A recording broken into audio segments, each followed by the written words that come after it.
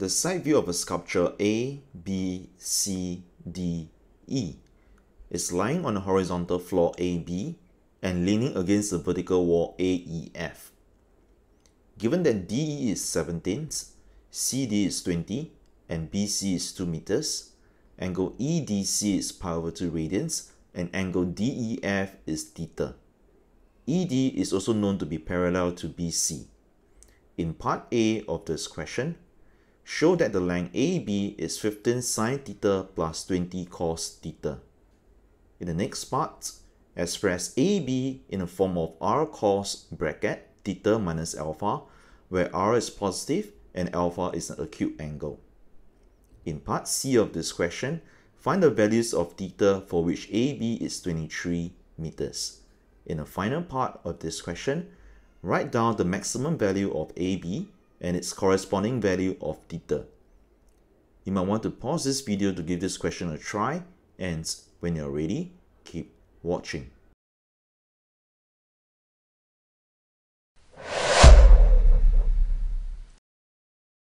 In part A of this questions, we are told to find the length of AB and show that it is 15 sine theta plus 20 cosine theta.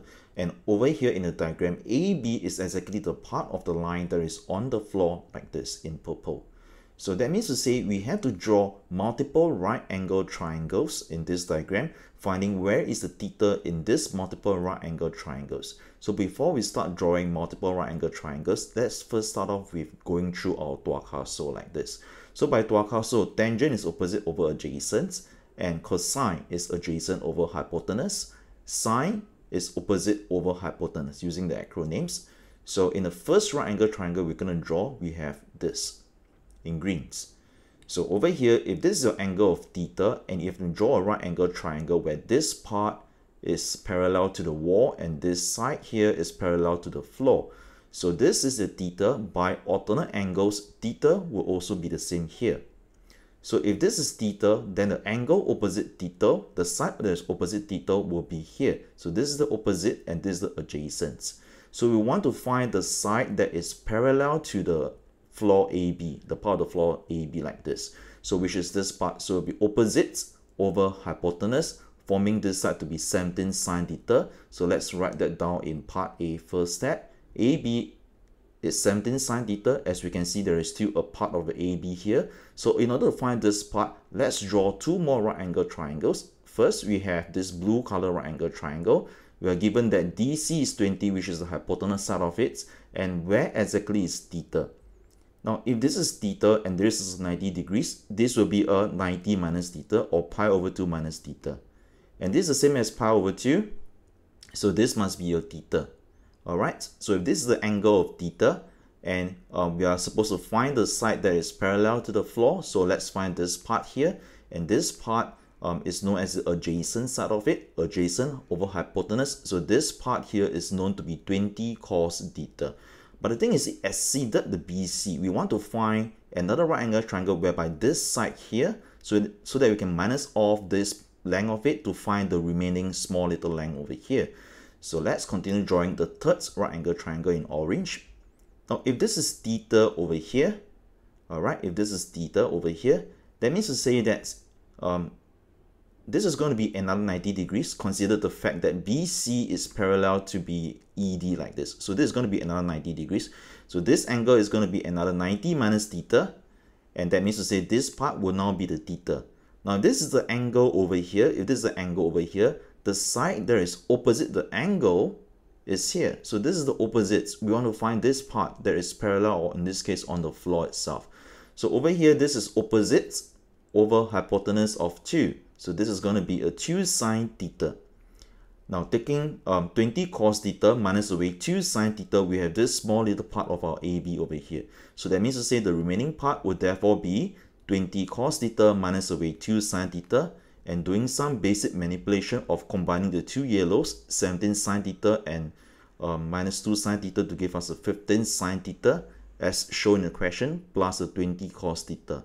And that is the part A of this question. Now moving on to part B, whereby we have to express this length of AB, this length of AB here in part A, in the form of r cos theta minus alpha, where r is a positive and theta is an acute in a range from 0 to pi over 2 radians. Now, before we go through our formula here, our formula is actually derived from a multiple formulas over here. So let's go through these few formulas. First, we have the addition formula. As you can see, this is a cosine bracket theta minus alpha. So we have the addition formula here. Cosine bracket A minus B is the same as cos A cos B plus sine A sine B. So this is the addition formula. Cos A cos B plus sine A sine B. Next, we have trigonometric ratios because um, we to find the alpha, we need a tangents. So tangent theta is the same as sine theta over cos theta. And last but not least, we need to have the Pythagorean trigonometric identities whereby sine square theta plus cosine square theta equals to 1. So essentially your R formula is a combination of these three formulas. So let's first start off with our part B of this, step 1. In step 1, um, AB is written to be 15 sine theta plus 20 cos theta. Now I'm going to set this by forming it into equating it to r cos theta minus alpha as shown in the question.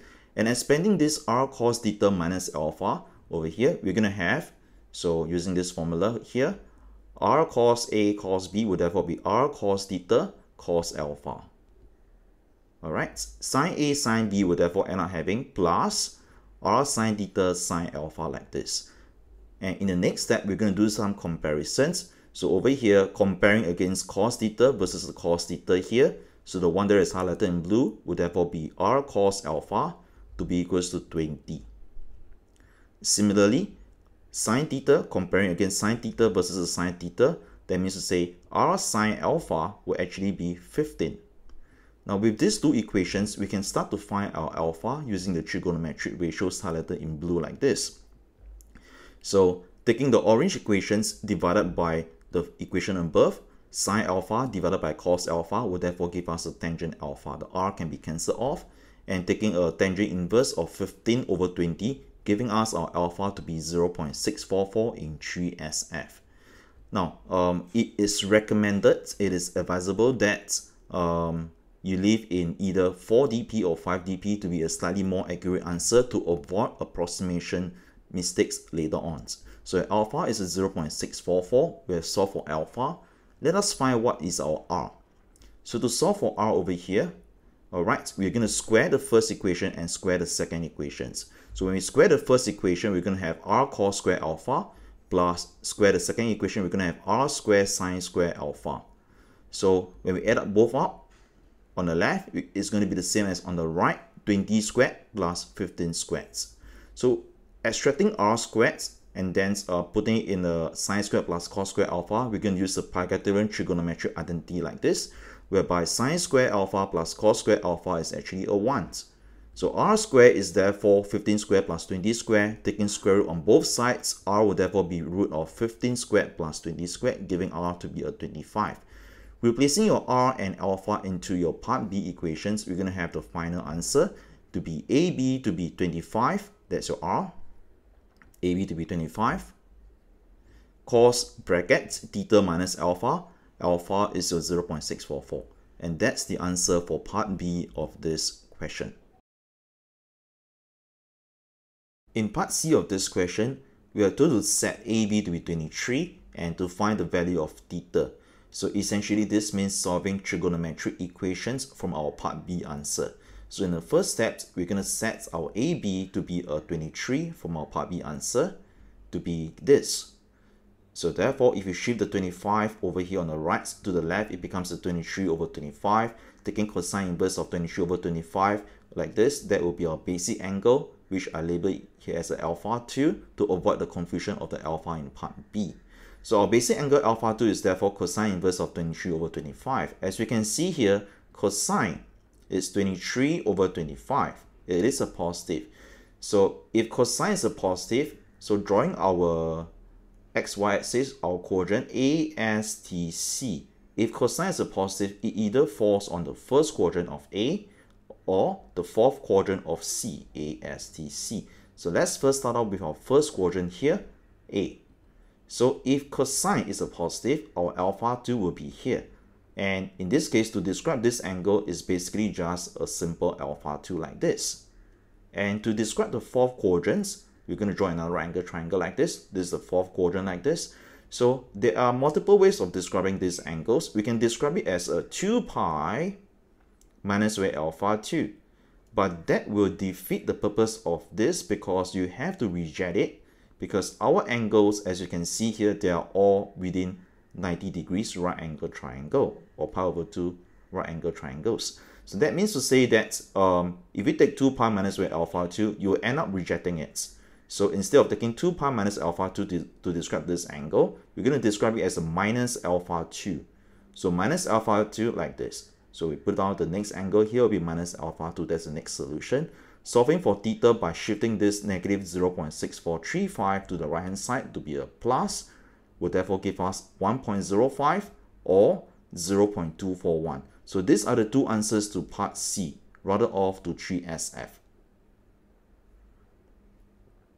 Now moving on to part D of this question, we are to write down the maximum value of AB and find the corresponding value of theta. This is just a simple 3 marks question. Please do not confuse yourself this question uh, by doing a differentiation and finding the maximum value. This is definitely not the solution for that. So to find the maximum value of AB, let's take a look at this AB equations. Now as you can see here, the only variable in this AB equation is just the theta. So to find the maximum value of AB, we just need to find the maximum value of cosine. And we have this part here. Maximum AB will therefore be found to be 25 times 1 because the maximum of cosine is just simply a 1. Cosine actually range from negative 1 to 1. So the maximum of cosine is just a 1. Replacing this part to be a 1, the maximum AB is therefore 25. In the second part of this uh, question, we are asked to find the corresponding value of theta. Now setting AB to be 25 times 1, which is cosine theta minus away 0.644 to be a 1, we're going to have this part here. So setting the, setting the yellow part to be a 1, we're going to have this part. And in this case, as you can see here, uh, when will cosine be a 1? Cosine curve actually starts from the maximum at 0. So cosine inverse of 1 is actually a 0. And we plus the 0.644 by shifting it to the right like this. And finding for theta will therefore give us the answer of 0.644 radians in 3SF. And that's the answer for this whole question. Thank you for watching. I hope you learned something and see you in the next question.